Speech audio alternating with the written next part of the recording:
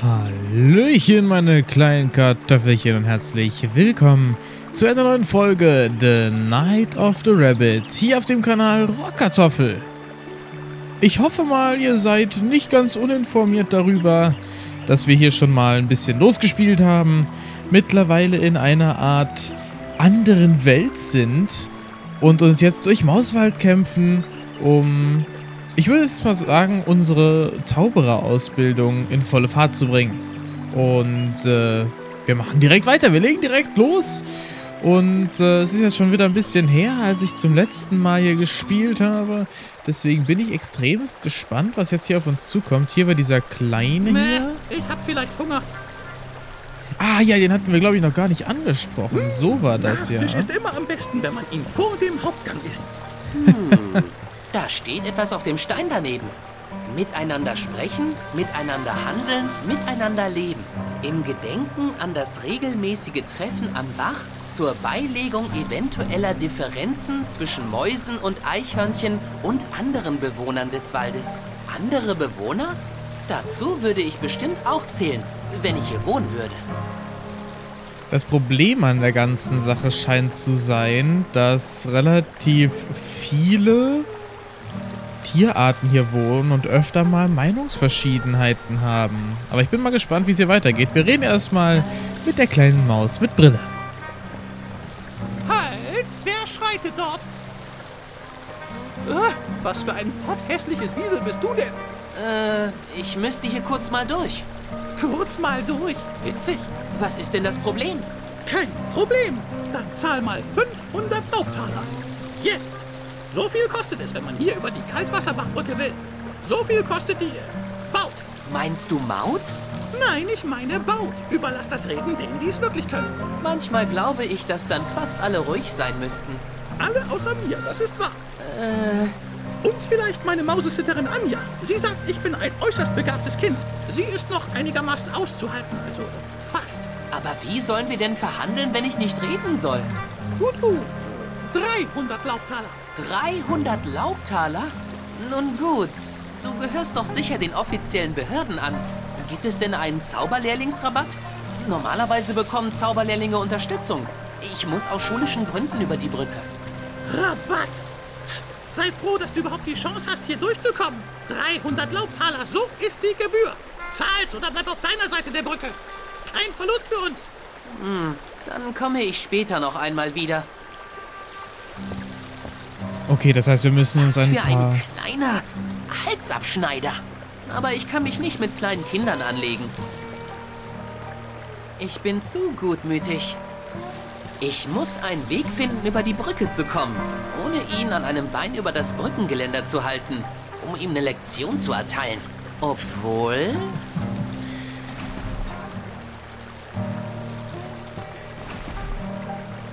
Nee, Okay, also die kleine Maus mit Hunger. Brille ist ziemlich knickrig. Da drüben sieht es echt super interessant aus. Leider steht mir dieser kleine hm, Halunke im Weg. Okay, wir werden hier irgendwie rüberkommen. Und wenn wir uns hier unten über den plätschernden Bach bauen müssen. Ein schnell dahinglucksender, kaltkieseliger Feld-, Wald- und Wiesenbach. Ja gut, das äh, hätte ich dir auch sagen können. Okay, geht's hier in zwei Richtungen? Nee, geht's nur wieder zurück. Wir brauchen also 300 Laubtaler. Zuerst waren es 500, jetzt sind es 300. Jetzt bin ich ja mal gespannt, was hier so abgeht, wie wir da rankommen. Und äh, hier ging es, glaube ich, zurück, ne? Ja. Aber hier möchte ich nicht sein und hier möchte ich auch nicht bleiben. Das heißt, wir gehen einfach nochmal zurück und äh, gehen mal in die Stadt. Wie wir uns sogar schon ducken müssen, um darunter durchzukommen, ne? Das ist schon schön. Okay, auf geht's. Weg zur Stadtmauer. Vielleicht können wir jetzt hier oben den Ratterich ansprechen. Ach, guck mal, hier hinten ist auch noch so ein älterer Herr. Aber zuerst spreche ich jetzt mal diesen jungen Kanonier mit seiner Erbsenkanone an. Nee, zuerst gucken wir mal die Erbsenkanone an. Eine Kanone, ganz wie aus einem Piratenfilm. Arr! Ich bin Jerry Haselbart, der Piratenmagier. Pfoten weg! Niemand darf die Kanone anfassen. Nicht einmal ich. Besonders nicht ich. Außer im Notfall. Die Kanone muss für den nächsten Krähenangriff bereit sein. Stell dir nur vor, es fliegt wieder so ein Tier in das Rathaus. Meistens fliegen sie aus Nordwesten heran. Ich, ich muss immer die Augen offen halten, auch bei Nacht. Okay, ich weiß ja nicht, wer von euch noch das andere Point-and-Click auf meinem Kanal verfolgt, nämlich die Whispered World. Aber ich würde fast behaupten, das hier ist nochmal so eine Stufe nach oben. Also, The Night of the Rabbit ist nochmal eine Stufe nach oben. Hier gibt es viel mehr Sachen, die man sich eventuell merken muss. Das kommt mir auf jeden Fall so vor. Und ich bin echt gespannt, was wir davon später noch brauchen. Aber jetzt reden wir erstmal den Kanonier persönlich an. Hallo, warum stehst du denn hier oben? Bin zum Kanonendienst eingeteilt worden. Wir hatten hier ein großes Krähenproblem. Naja, haben. Wir mussten sogar evakuieren. Das klingt schrecklich. Oh ja. Also, wenn ich so ein garstiges Tier sehe, dann... Kaboom! Meistens fliegen sie aus Nordwesten heran. Ich, ich muss immer die Augen offen halten, auch bei Nacht. Okay, dieses meistens fliegen sie aus Nordwesten heran. Das hat er bisher schon zweimal gesagt, in egal welcher Art von Animation er da war. Und ich denke, das ist in irgendeiner Art und Weise noch wichtig. Aber jetzt schauen wir erstmal, dass wir hier ein kleines bisschen weiterkommen. Und dazu gehen wir jetzt erstmal zu der Eulenstatue. Schauen uns mal an, was hier so gibt. Diese Eulenstatue sieht unheimlich weise aus. Die haben hier am Bach bestimmt schon allerhand vorbeischwimmen und treiben und gluckern sehen. Und Kinder untergehen. Naja, egal. Wir wollen ja nicht wieder komplett doof sein. Hm. Okay, zu dem Turm sagt er erstmal ja nichts. Eine ganze Stadt passt unter den Baum. Wer sich da echt Okay, na, das kann ich schon, das kann ich schon. Das da hinten ist Mauswald, aber der Turm. Hm. Da sagt er sonst gar nichts zu. Da können wir scheinbar auch nicht hochgehen, wie es aussieht. Aber wir können die Pforte öffnen. Ja, machen wir das doch mal. Fest verschlossen. Schade. Guten Tag, Herr Eichhörnchen. Jeder nennt mich Spitzweg. Also darfst du das natürlich auch. Oh je, ich muss kurz niesen. Ich bin übrigens kein Eichhörnchen, sondern ein Ziesel. Oh, das wusste ich nicht. So bepackt sehen Sie aus, als ob Sie später noch viel vorhätten. Ich bin ein Abenteurer und Wissenschaftler und meine neueste Forschungsreise soll über die sieben Weltmeere gehen, um ihre Unterschiede in Flora und Fauna zu dokumentieren. Sieh dir nur all die Karten in meinem Rucksack an. Die Schönheit der Natur manifestiert sich in ihrer subtilsten, entzückendsten Weise in diesen liebevollen Niederschriften. Ja, es ist schon ein enormes Abenteuer. Und es beginnt hier im bescheidenen, heimatlichen Kaltwasserbach. Das klingt ja spannend. Aber wieso machen Sie sich dann nicht auf den Weg? So viel mehr braucht doch sicher unheimlich viel Zeit, um komplett angeguckt zu werden. Wem sagst du das?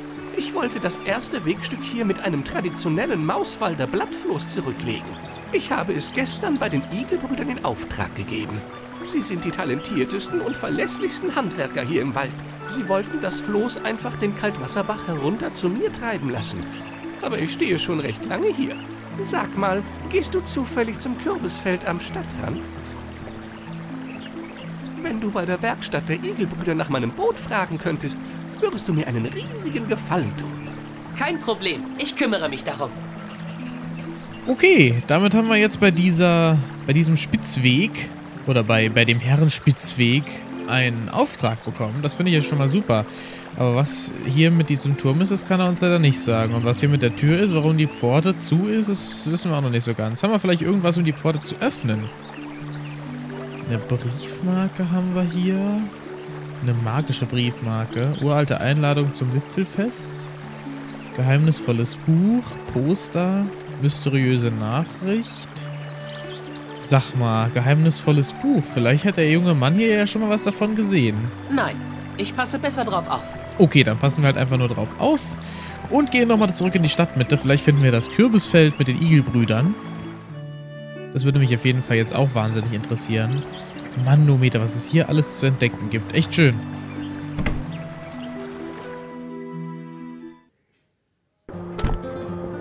Ja gut, so voll ist es jetzt aber hier auch nicht. Hier riecht's aber gut. Und irgendwie auch nach Kräuterbonbon. Nanu?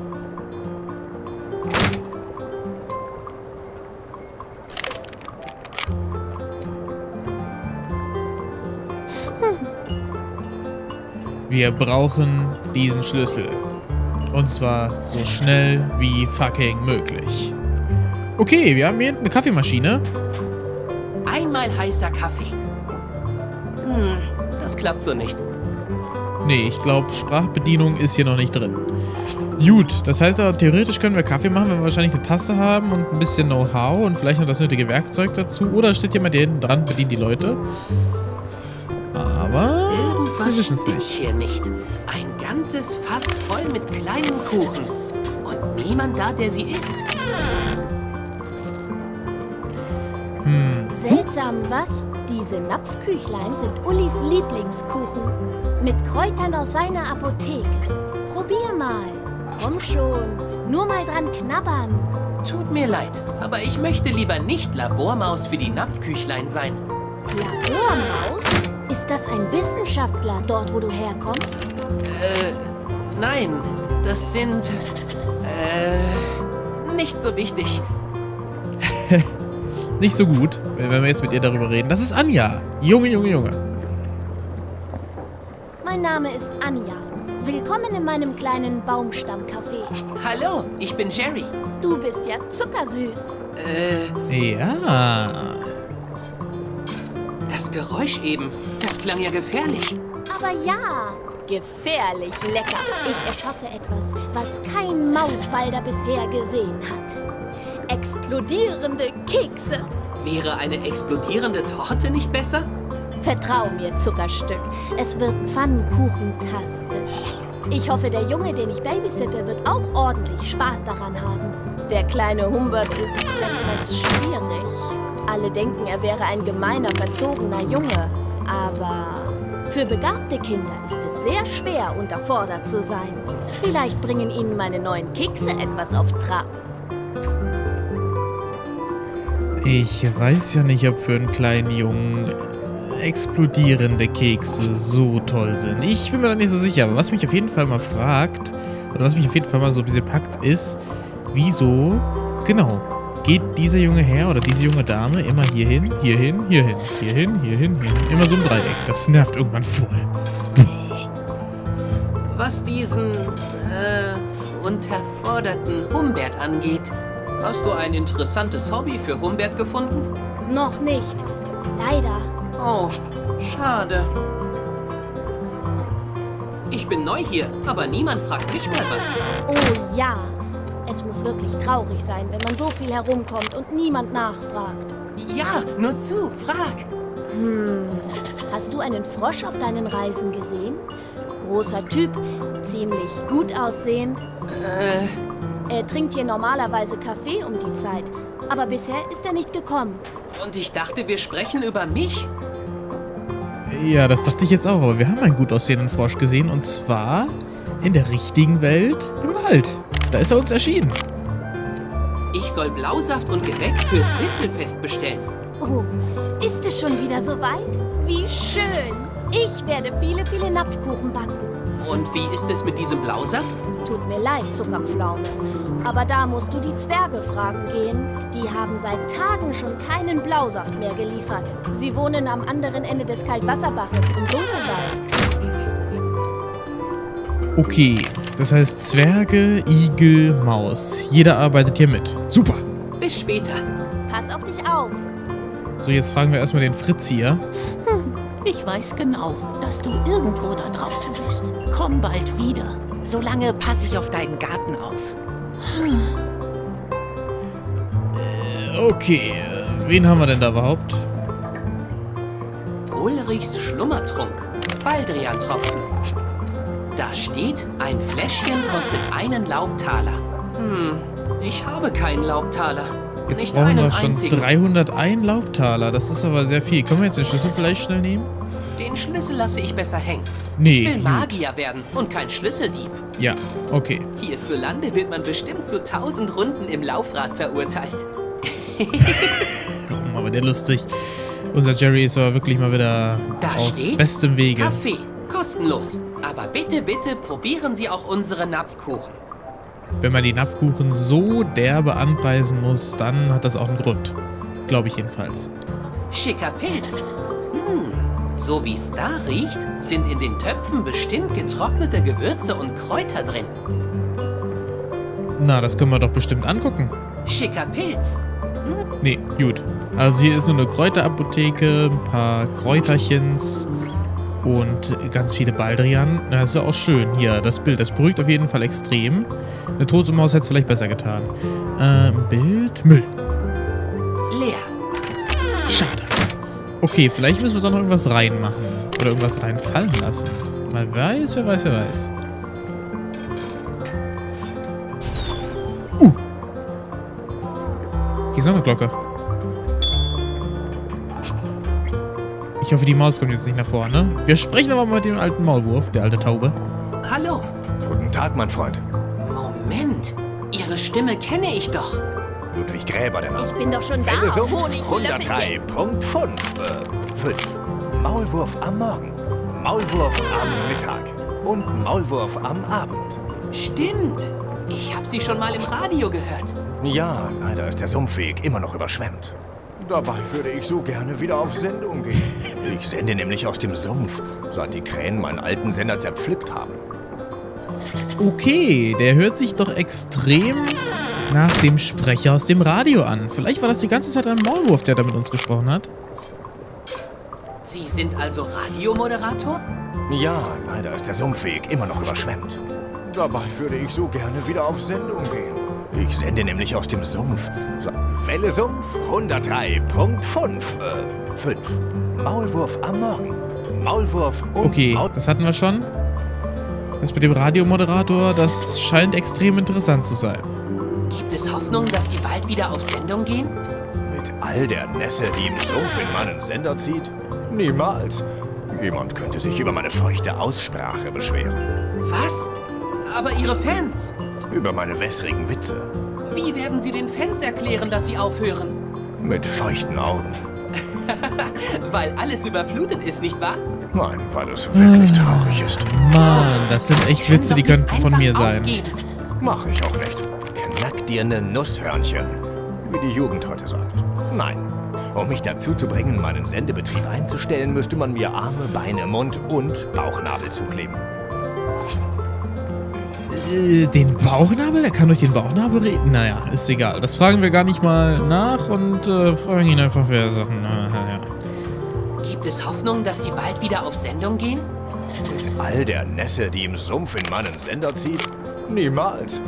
Jemand könnte sich über Okay, jetzt kommen wir die schlechten Witze Mit mit der doofen. Aussprache und feucht Mach und so. Nein, Okay. Ich wollte auch immer mal zum Radio. das ist die richtige Einstellung. Wenn du mit mir zusammen moderieren willst, solltest du pfiffig sein. Pfiffig? Ja, versuch einfach mal mir eine Vorlage zu geben, die ich gekonnt kontern kann. Ähm. Ja, das ist jetzt natürlich so eine Sache. Ich glaube nicht, dass unser Jerry so schlagkräftig und wortgewandt ist, dass er jetzt locker mal gegen den Radiomoderator antreten kann. Aber wir versuchen's. Ja?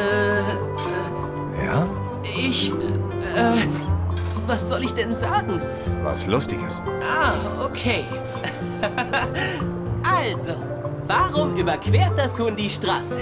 Das wird nichts. Der Witz kommt hier in Mauswald sehr schlecht an. Vertrau mir. Oh, okay. Versuch mal was Passendes für unser Publikum aufzutreiben. Dann probieren wir es nochmal. Okay, das muss ich also auch im Hintergrund behalten. Sobald wir einen guten Witz haben, geht's wieder zu dem alten Radiomoderator. Wir müssen jetzt aber leider weiter. Ich muss dann mal weiter. Auf bald. Und denk dran. Welle Sumpf 103.5. Äh, 5. Maulwurf am Morgen. Maulwurf am Mittag. Und Maulwurf. Ja, okay. Gut, wir versuchen mal durch die Tür durchzukommen. Zu. Die Maus mit dem Rucksack hat sie gerade mit dem Schlüssel daneben der Tür abgeschlossen. Ja, und deswegen... Vielleicht kann ich die Maus irgendwie dazu bringen, die Tür offen zu lassen, wenn sie aus dem Garten kommt. Dann könnte ich da in Ruhe rein und rauslaufen. Wir verprügeln sie mit dem Stock. Wie wär's denn damit? Hier. Auto? Ein Stopp bringt hier nichts. Soll sich nicht so dran stellen. Gut, dann warten wir halt einfach mal nochmal. Die Maus mit Rucksack geht ja sicherlich gleich nochmal zum Schlüssel, sperrt die Tür auf und geht dann raus. Und dann gehen wir einfach schnell hinterher, würde ich sagen. Vielleicht reicht es aber Ein Stopp auch. bringt hier nichts. Ah, stramm. Ein Stopp bringt... Okay, der Stock bringt hier scheinbar nirgendwo was. Vielleicht, da ist ein Poster, Hakebutten. Ich will keine Plakate. Ich weiß halt auch nicht, wo die Maus da hinguckt, ne? Irgendwas guckt die Maus hier an. Wahrscheinlich hier nach ihrem Freund oder sowas. Jetzt geht sie aber natürlich auch nicht mehr raus. Wie das aussieht. Den Schlüssel... Ich Okay, den Schlüssel lassen wir lieber hängen. Maus, geh jetzt sofort raus. Ja, danke. Das wollte ich bewirken. Und aufsperren und zurückhängen und rausgehen. So, jetzt gehen wir Die einfach Tür her. ist jetzt offen. Jawohl. Hey, hey du, das ist Privatbesitz. Raus aus dem Garten. Oh oh. Die Tür ist jetzt Ja, offen. passiert jetzt nochmal das gleiche? Hey, das Ja gut, alles klar. Ach shit. Oh, jetzt müssen wir auf irgendeinem anderen Weg da raus. Das gibt's ja jetzt nicht. Vielleicht müssen wir dem später auch noch einen guten Witz erzählen. Das wäre ja interessant. Naja, gucken wir einfach mal weiter. Hier hoch geht's. Weg über Baumwurzel. Hier geht's zum Rathaus rein. Hier waren wir ja schon. Dann gehen wir mal den Weg über die Baumwurzel. Vielleicht finden wir da ja noch Interessantes. Ach, Ach, wat? Ach, schau an. Rechts liegen die Gärten. Klar, über die Baumwurzel geht es zum Stadtplatz. Und wenn ich dem Pfad in die andere Richtung folge, komme ich zum Stadtrand. Okay, das heißt wahrscheinlich hier lang. Oder, äh... Ja, sollte eigentlich nur da lang gehen. Jetzt reden wir aber erstmal mit dem mürrischen Gartenbesitzer. Schöner Garten. nur gucken, nichts anfassen. Ach, und von hier aus dürfen wir scheinbar dann hier rein. Alles klar.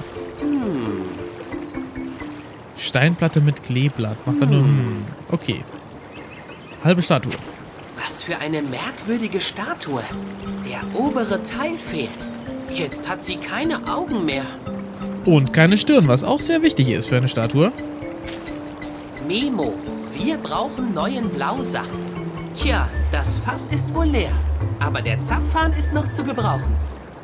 Den nehme ich mit. Jawohl. Den nehme ich. Alles klar. Gut, hätten wir das auch schon mal eingesteckt. Hier haben wir eine Pforte.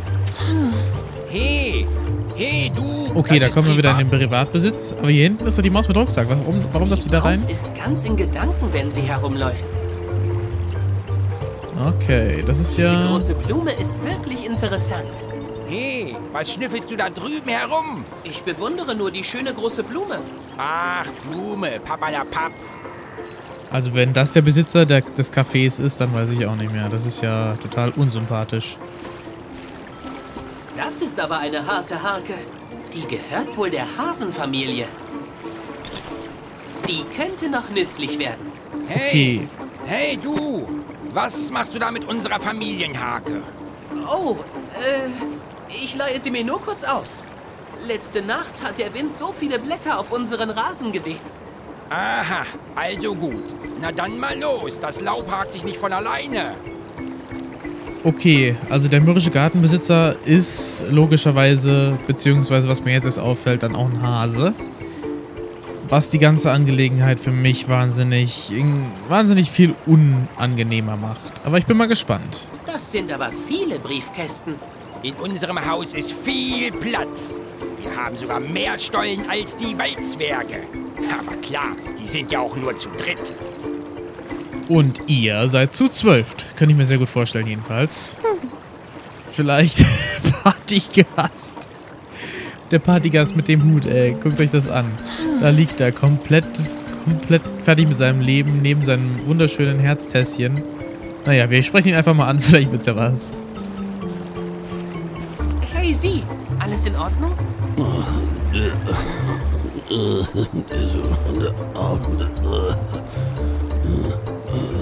Kaffee. Das hört sich sehr danach an, als würde der Partygast gerne Kaffee haben. Gut, dass wir hier eine Tasse haben, die er uns nicht gibt. Ach, Ach, shit. Ja gut, das heißt, wir brauchen eine andere Tasse. Vielleicht äh, kriegen wir ja hier eine. Oder wir können in der Schüssel mit dem Abwasch ein bisschen rumwühlen und finden dort eine. Da drückt sich wohl jemand vor dem Abwasch. Ich, äh, ich meditiere. Aha. Er meditiert. Alles klar. Gib mir sofort die Tasse. Will er nicht. Haus der Hasenfamilie. Hatten wir schon? Hatten wir schon? Hatten wir schon? Können wir da vielleicht auch reingehen? Nein. Schade. Können wir da vielleicht Müll durch das Löchlein reinwerfen?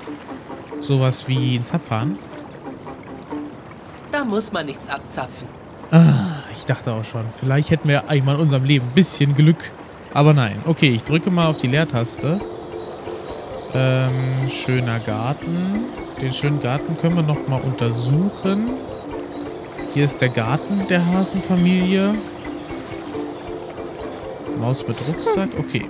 Schöner Garten. Das ist Privatbesitz. Ist ja gut. Dieser Typ ist so unglaublich knickerig, ne? Es ist unglaublich. So, was hatten wir jetzt hier noch nicht nochmal so? Äh, noch schöner Garten.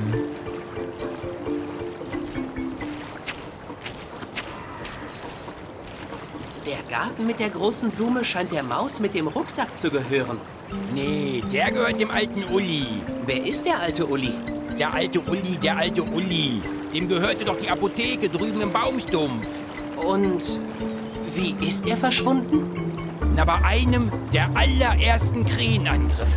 Zack, weg war er. Einige sagen, er hatte etwas herausgefunden. Herausgefunden? Was denn? Na, darüber, woher die Krähen kommen und warum sie immer aus Nordwesten kommen. Über den Fluss hat er möglicherweise auch etwas gewusst. Nicht umsonst hat er ständig dort oben Nachforschungen angestellt. Und das wurde ihm dann schließlich zum Verhängnis. Was ist mit dem Fluss? Na, der tritt über die Ufer. Meine Güte, Kleiner. Bei dir muss man ja wirklich ganz von vorne anfangen. Ja, wir sind jetzt vielleicht gerade mal 20 Minuten hier. Du Hase, du. Naja, du Lump, du Schuft. Hm. So. Der alte Uli also. Naja. Wir gucken mal weiter. Vielleicht finden wir jetzt zum Kürbisfeld und der Maulwurf-Familie. Das sieht doch schon mal... Ach, Maulwurf-Igel-Familie. Das sieht doch schon mal sehr nach den Igeln aus. Gucken wir uns erstmal um. Da ist nicht eine Biene drin. Hm, dem süßen Duft nach zu urteilen, ist das Volk aber erst vor kurzem ausgeflogen. Na, dann würde ich sehr gut aufpassen. Denn wenn die wieder zurückkommen, möchten die sicherlich niemanden sehen, der in ihrem Bienenstock rumfuchtelt. Wie seltsam. Ich dachte, Krähen sind ja ein Problem. Dachte ich auch. Vielleicht ist hier eine Verschwörung am Gange. Die Kürbisse hier werden erstaunlich groß. Andererseits rede ich jetzt regelmäßig mit Mäusen meiner Größe. Ja, ich wollte gerade schon Dagegen ist sagen. so ein Riesenkürbis fast wieder unspektakulär. Aber trotzdem extrem viel zu sehen hier.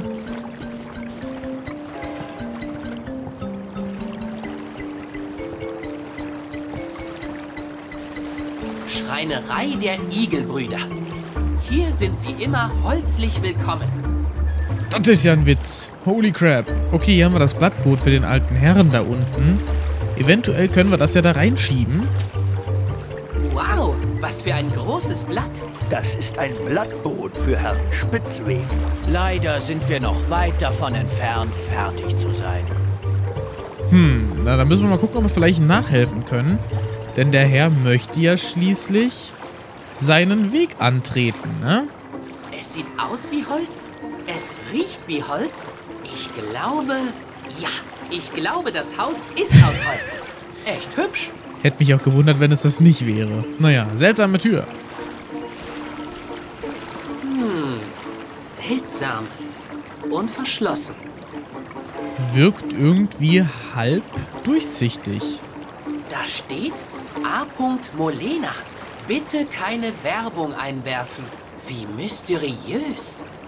Eine Sauerei ist das. Eine Sauerei. Keine Werbung einwerfen. Einfach so, das gibt's nicht. Nicht hier.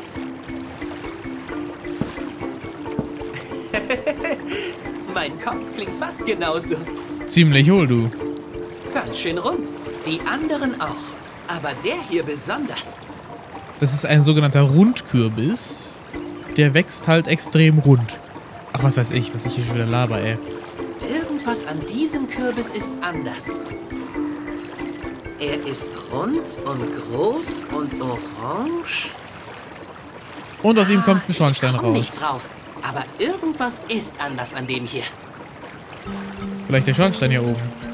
Man weiß es nicht. Oder vielleicht das Posthorn, welches daran klebt. Soll man damit jemanden rufen?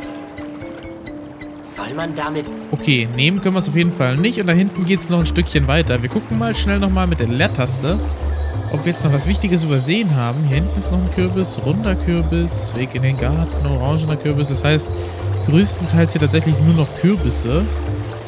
Enger kleiner Tunnel, den können wir noch untersuchen und hier oben den Baum. Der Baum ist wie ein zweiter Himmel über Mauswald.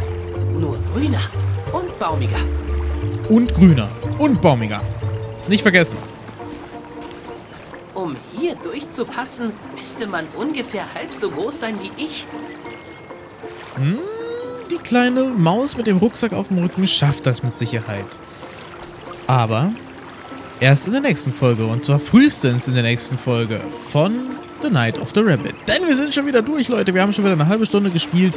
Wir haben Mauswald ein ganzes Stück weiter erforscht. Wir haben ein paar Sachen mitgehen lassen. Und ich denke mal, wir machen in der nächsten Folge genauso weiter, wie wir hier angefangen haben. Mit ganz viel Spaß, Erkundung und natürlich ganz viel Magie. Ich bedanke mich fürs Zusehen. Wir sehen uns beim nächsten Mal wieder. Tschüss und bis dann. Wir haben Mauswald wieder ein ganzes Stückchen erkundet. Und jetzt geht es direkt weiter bei der Igelfamilie. Ich bin auf jeden Fall gespannt. Ich würde mich auf jeden Fall sehr über einen Kommentar und eine Bewertung freuen. Und dann sehen wir uns in der nächsten Folge wieder. Dankeschön fürs Zusehen und auf Wiedersehen.